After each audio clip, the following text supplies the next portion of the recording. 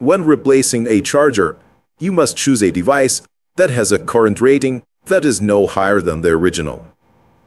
This misconception is probably due to the fact that current is often confused with voltage. Indeed, when you choose a power supply, you must ensure that it is, first of all, rated for the same voltage as the original. If it is lower, your device will be underpowered and most likely not start. And if it is higher, you risk damaging it. This rule, however, does not apply to current strength. Let's conduct a simple experiment. We have two USB chargers in front of us. The voltage, naturally, is 5 volts in both cases.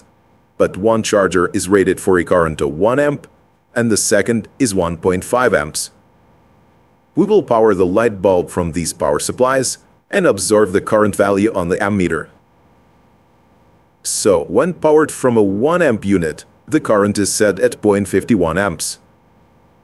What's going to happen if we connect the second 1.5 amp unit? As you can see, the ammeter displays the same 0.51 amps. How to explain this? And why the measured current strength does not correspond to that indicated on the charger?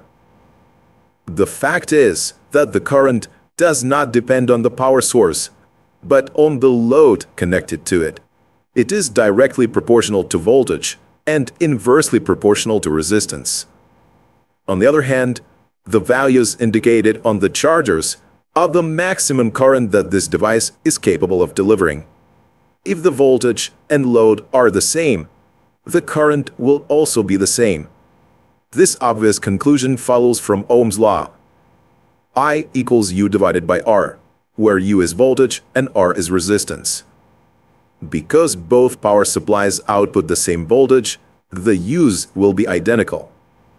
R is the lamp's resistance. We got the same lamp, which means the resistance will also be the same in both cases.